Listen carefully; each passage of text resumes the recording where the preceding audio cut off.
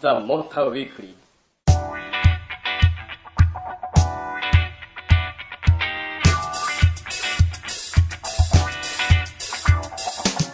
岩貞ルミ子ナビゲートでお送りしています。ザ・モーターウィークリー。ここからの時間は自動車業界でご活躍中のモータージャーナリストをお迎えしてお送りしていきます。今日のコメンテーターは堤智彦さんです。よろしくお願いします。はいよろしくお願いします。本当に堤さん、はい。お元気ですねもうね元気が頼り。もう日に焼けて、あーそうですね。この夏でも本当によくい日焼けされました、そうですね。もうねアウトドアスポーツずいぶんやってきましたからね、はい。えーもう連チャンで、えー聞いてください、はい。えー8月のね、ええ。この12、13なんですけどね、はい。富士スピードウェイでね、はい。えーこれ恒例のね実はね K4GP 今年も出てらしたんですね、はい。出ました K4 っていうのはあのアルファベットの K に、えー前に。数字の4数字の 4, 4人ですね、はい。あの軽自動車の K という意味なんですけどね、えーまあ、あの軽自動車をメインとした、まあえー偉大なっていうかあの走行会なんですね、まあ、レースと言ってますけど、まあ、実態は走行会なんですけどもレース形式で走ると、はい。い、うんでなんとですね1000キロ。軽自動車で1000キロえーそれも9時間ですね、それでね、もう参加台数すごいんですよ、えなんとね、えー募集したのが120台なんですけどね、確か120台以上来たんじゃないかと思うんですね、ものすごいもうピットなんかすごい賑わいですよ。やっぱ軽自動車ベースにはい。作るというところが、この参加者の多さを導いている。そうなんですね、実はね、ここのマッドハウスというところのはい。杉山さんという人がね、はいいつもの杉山さんはいまた。杉山さんね、この人がね、もう素晴らしい人でね、ええ。彼はもうできるだけ手軽にモータースポーツをやりたいと、はい。なので、まあ、普通の大きな車だとお金かかっちゃうよと、だから K ならね、もうたくさん日本のあれはもう本当にベーシックな車だからどこでも手に入るから K を改造しましょうとはい。いうことでね、K がメインなんですが、ええ。ただし、まあ、車によってはね、まあ、1.5リッターぐらいと1.6リッターぐらい、まああのーあるエンジンも許されてはいるんですけどね、えーまあ、特に K でねたくさん出てくるのはやっぱりカプチーノとかねビート。いいですよね、えー時にはね、A- AZ1 とかですね、はいまあ、あると、はい当然最近ではコペンですね。あそうでしょうね、えーもうこの辺りで実はすごく速いです。あのターボカーですからね。はいはい。もう本当に1.5リッターの車がね抜かれそうになったりしちゃうんですね。めちゃくちゃに、えーあの楽しいんですけどね。はい。まあそしてねそこで我々はね実はねあのチームトヨタの面々とい。うことで、古いね往年のドライバー。はい。どんな面々が、えーもうね70歳を超えたというね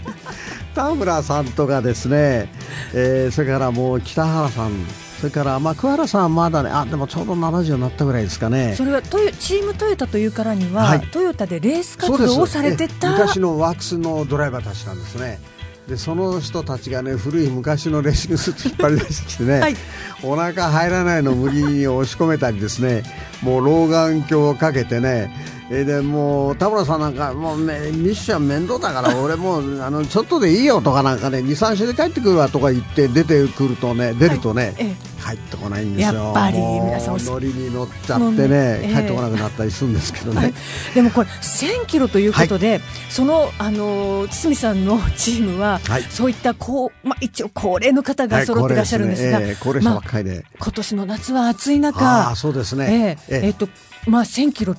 体力的には大丈夫だったんあですか？あのですね、えー結構皆さんですね、あのー水をよく飲んだりですね、えーそれからあの塩っ気のものをね梅干しなんかしゃぶったりしながらですね、えー頑張って走っていただけましてですね、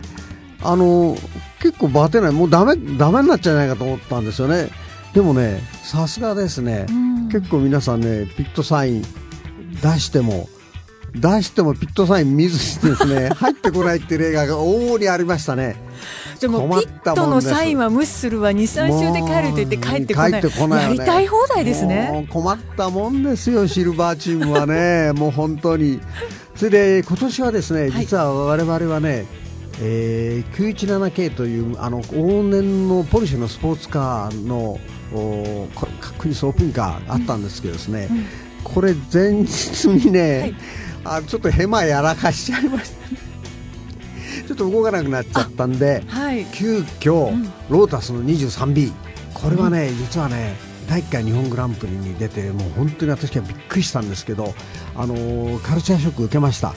当時ねあの第1回日本グランプリはほとんどの車がツーリンカーベースなんですね、ですから背の高いね車しか見たことなかった中にペターンとねなんかなある時ね急にねさっきと貼り付くようにねなんかわらじみたいなのが走るんですよね、はい、でみんなでわらじわらじって呼んでたんですけどもイギリスから来たイギリスから来たんですねわらじか、はい、そうなんです。でねあの今はロータスのマネージャーをやってましたね、えー、ピーター、えーと、ピーターさん、えー、急に名前が忘れちゃいましたけどね、まあ、ピーターさん。ピーターさん、はい。でピーターさんがね若手ドライバーで若干確かねあの時22歳23歳でしたが背の高いすらりとしたねハンサーなボーイがねシューンとねもうトップ切って走ってくるんですよ。びっくりしましたわらじに乗って。それでね、はい、我々はもう本当に世界のなんですかモータースポーツのその進歩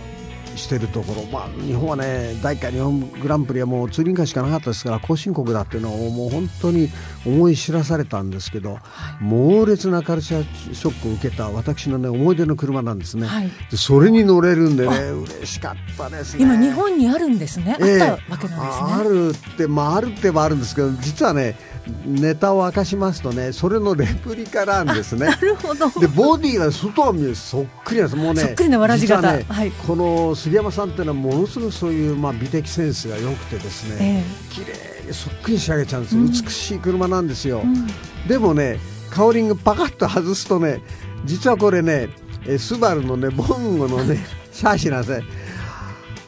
シャーシなもんですからね、はい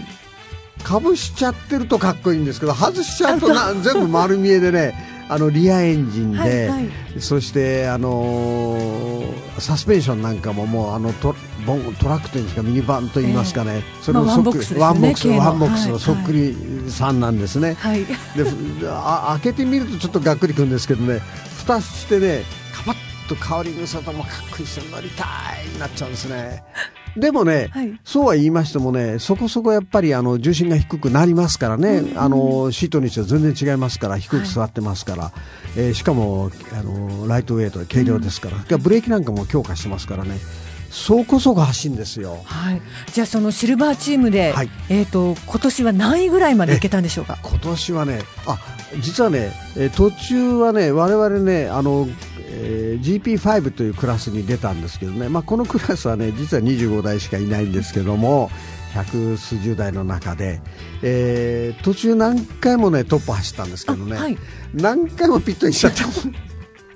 はい、でね、やれね、えー、クラッチが滑るなのね、やれなんだのちっちゃピット入っちゃうんですね。それでね、まあ、多少ね、実は私が走ってる時これはちょっと初めてなんですけど、あの目の前でね、5台があのスピンしたアクシデントに巻き込まれちゃいましてね、ちょっと軽くね、えー、ボディヒットして、やはりあのこれピットにしまして、えー、ちょっと応急処理をしてもらったということもあったりしましてですね、最終的には12位だったんですね。はいえー、でもまああのちょうど真ん中ぐらいですかね、25、えー、台の中ですからね。でもね、まあ、あのじいさま連中ね、えー、70歳、もう平均するとね、ほぼ70に近い平均値のじいさまたちもね、やれ、暑いのスイカが食いたいのとかなんか言いながらですね、はい、えー、頑張って走ってくれまして、はい、あのとてもとてもいいね、いまだにね、青春、えー、していただいています。はい、えー、皆さん揃って9時間のレースを完走していただいたというだけで、はい、まだまだですね。ええまだシルバーチーム頑張ってます。でもね杉山さんに感謝です。はい。はい、えー、堤さんが出てくださいました K4GP を、えー、お伝えいただきましたけれども、えー、この後のコーナーでは市場の音声レポートも交えながらマツダプレマシについて詳しくお伝えしていきます。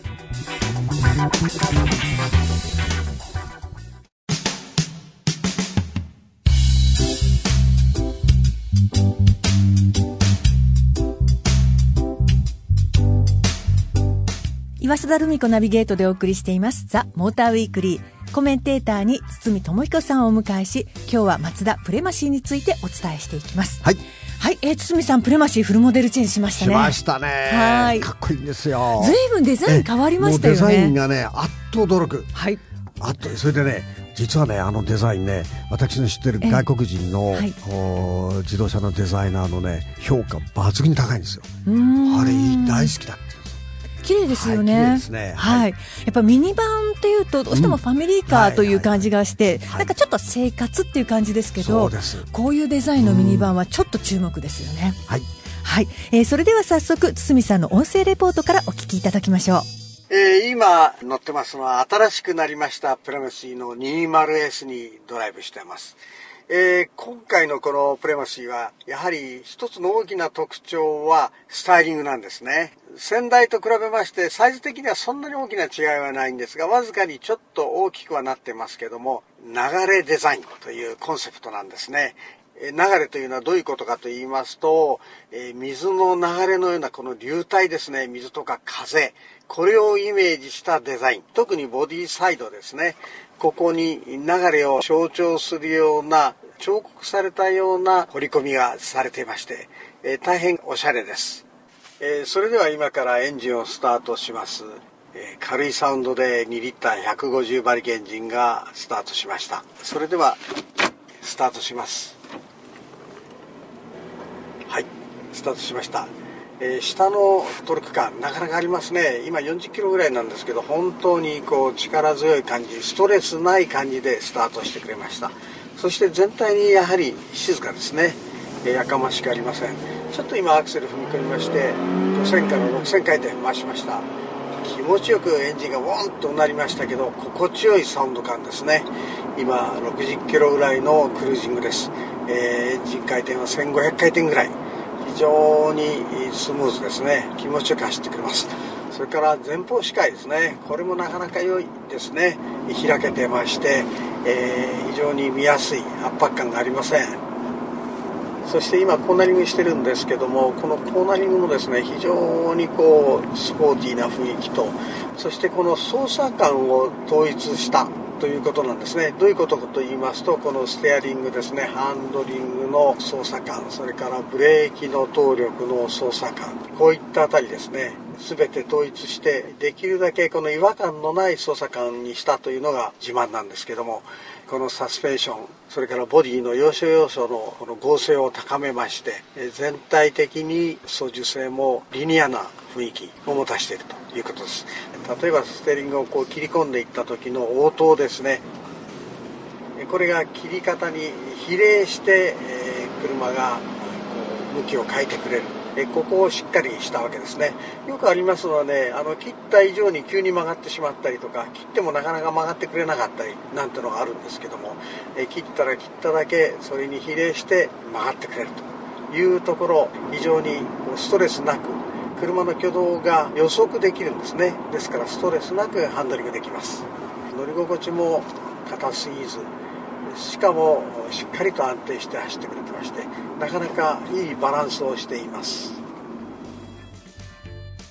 はい、えー、プレマシーの音声レポートをお聞きいただきました。まずはやはりこの流れデザインですね。そうなんですね。はい、もうこの数年ですね、ずっと松田があのこのコンセプトを提案してし続けていたんですね。はい、でそれが本当にね、あの如実に具現化されてきたなという感じで、はい、えー、あまりにもね美しいのでちょっとびっくりしましたね。なんかあのボディサイドにこう風のこう流れが本当に綺麗に描かれていて、ね、多分これはあの工場でプレスをかけて作るのが非常に難しいんじゃないかなって。ね。えー、あのおそらくね工場長と相当ね 揉めたんじゃないかと思うんですけどね。はいはいもう絶対揉めてますよね、えー、でもあの本当にね平坦になりそうなこのミニバンの側面をこれだけなんかねあの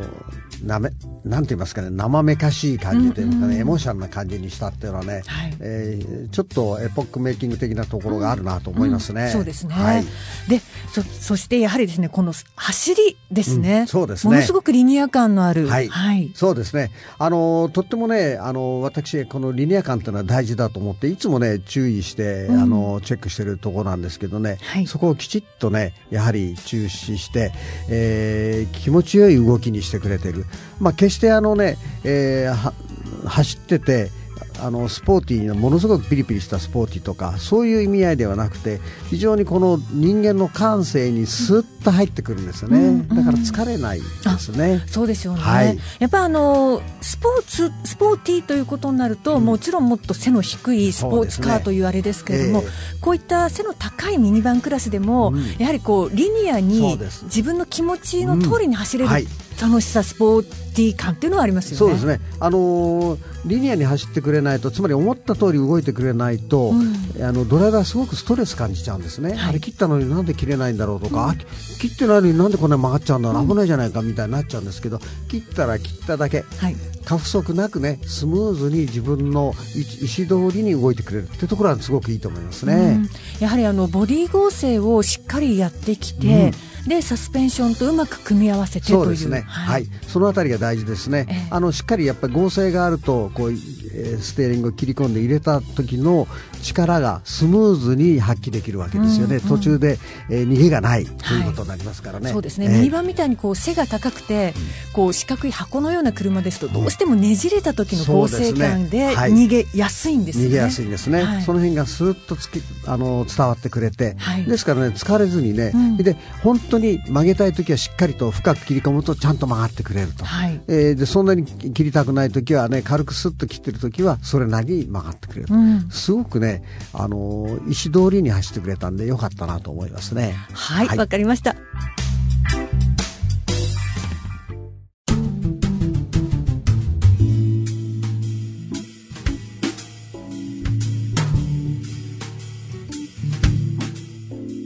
岩須田留美子ナビゲートでお送りしていますザ・モーターウィークリー。引き続き堤智彦さんと一緒にマツダプレマシーについてお送りしていきますえー、まずこのコーナーでは先にですね、えー、プレマシーについているアイストップ、えー、これについての音声レポートからお聞きいただきましょう。えー、このアイストップなんですけども、信号が今赤になりましたので止まります。止まると、ピタッとエンジンが止まってくれましたね。そして今信号が青になりましたブレーキを離すとすかさずエンジンがスタートしてスッと走れますえ大変この止まってる時ですねやっぱ音も静かなんですね。しかも余分な燃料を使ってないというところで、えなかなかいいですね、えまた信号が来まして止まります。エンジンが停止してくれました。本当に振動がありませんからまあ当たり前なんですけども快適です。えそしてブレーキから足を離すとすかさずエンジンがブルンとかかってくれましてスタートできます。ですからあのストレスが全くありませんね。あのスタートできないんではないかというような不安がありません。もうブレーキから足を離しさえすればエンジンがプッとかかってくれます。もちろんブルンというショックはあるんですけどでも逆に言えばこのショック感があるので安心感がありますね、えー、交差点に来ました。ここで少しハンドルを左に切って止めます。そうするとエンジンは止まりませんね。つまり左折の時にすぐに出れるようにわざと止めていないわけですね。まあこういったあたりもよく配慮されています、えー、なかなか出来のいいアイドリングストップです。はい、えー、堤さんプリマシーにもアイストップが、つきましたね。つきましたね、えーぱり燃費が良くなりますんでね、えー、あの16.0キロという燃費、はいうん、まああの前期型よりもね7%ぐらい上がってますから、まあ、とってもねいいことですね。そうですね。はい、で特にあのマツダのそのアイドリングストップの場合、うん、ブレーキを離してからの再始動が早いですよね。はい、そうですね。コンマ35秒と言ってますからね。えーはい、もう離すか離さない前に、離す前にはかからないんですけどね。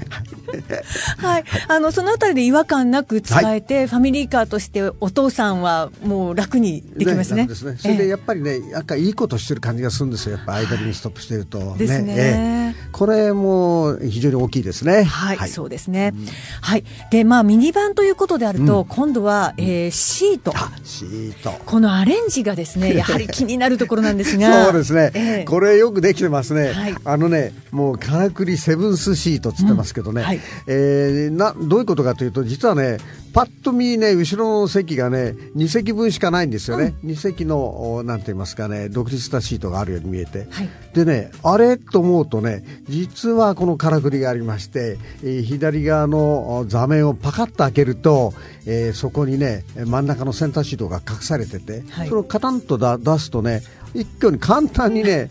あのセンターシートできちゃう素晴らしい。そうですね、うん。普通はあの2人用のシートにしておいて、3列目へのアクセスをしやすくしておいて、そうそう。ね。たくさん乗るときは。そうです。えー今のようにですね今あのルブちゃんが言ったのは、え3列目に行くのに、えー真ん中に通路ができちゃうんですね、ウォークスルーの通路ができてですね、だからそこ歩いていけるんですけども、えーどうしてもまた誰かね、えー人に乗りたいと。だだこねた時は、はいはいっつってね、パカッと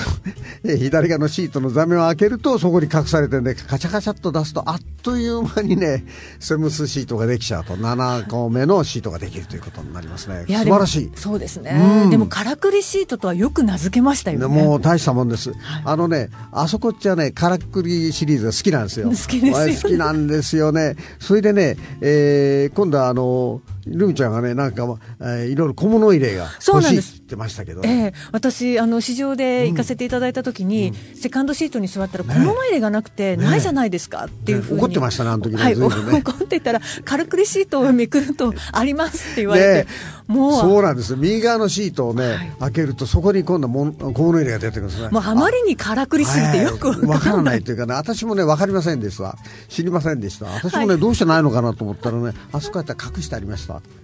やっぱりジャーナリストはですね、あの短い市場時間でやろうとするからダメわですね。かんないんですよ、実はえねー。実際のユーザーの方はは使いこなしていただけるので、はいこんなことは、えーないと思うんですが。まあそんなわけでね、はい。あれはあの非常によくできてるの、それかええ。ら簡単にカタカタっとできるのと、それからサードシートへの、ね、アクセスもね、もう本当にあのセコンドシートを、ね、倒すだけでするんとね、ワンタッチであの動いてくれて、ええ。大きなあの開口部ができたんでね、これも良かったなと思いますね。ね、はい。非常に使いやすいと思います。でさて、えー先ほどのところでもちょっとお伝えしたんですけれども、やはり走りがいいミニバンはい。というふうになってきて、最近のミニバンはいよいよ走りにこうこだわってきたなっていう感じがありそうですますね。やっぱりね全体のこう質感がねだんだん上がってきた、えーそうするとねその走りのフィールも良くしたいということで、で走りがいいとねやはりあのーつまり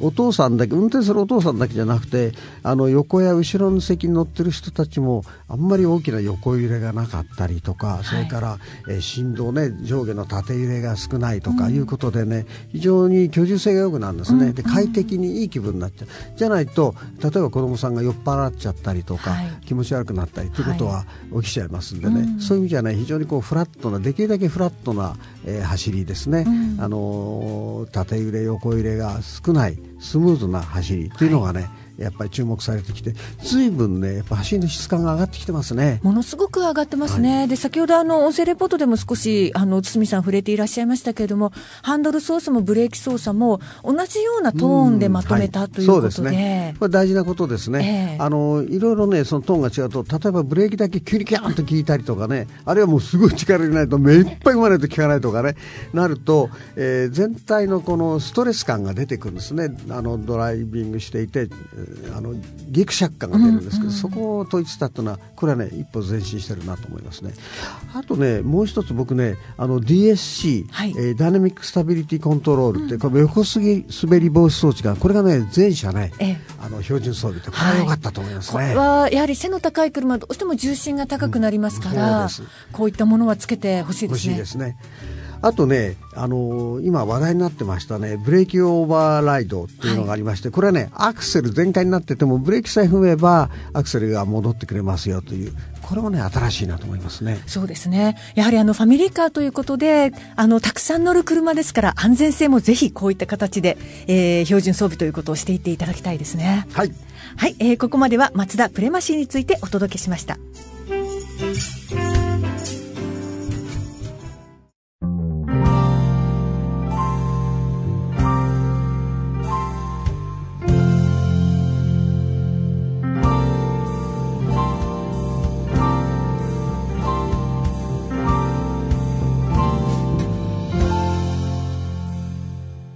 岩須田ルミ子ナビゲートでお送りしていますザ・モーターウィークリー。ここからはウィークリー広報のコーナーです。本日は高田株式会社業務推進本部広報室松本秀幸さんにお話を伺っていきます。よろしくお願いします。よろしくお願いします。はい引き続き堤さんにもご同席いただきます。よろしくお願いします。はいよろしくお願いします。はいあの高田株式会社というとちょっと一般の方にはあまり馴染みがない名前かもしれませんが、えー、まずどういったものを作っているのかを教えていただけますか？はい、えー、自動車用のですねシートベルトやエアバッグ、あとは、えー、レース用の、えー、シートベルトフルハーネスですね、はい、そういったものを作っています。はい、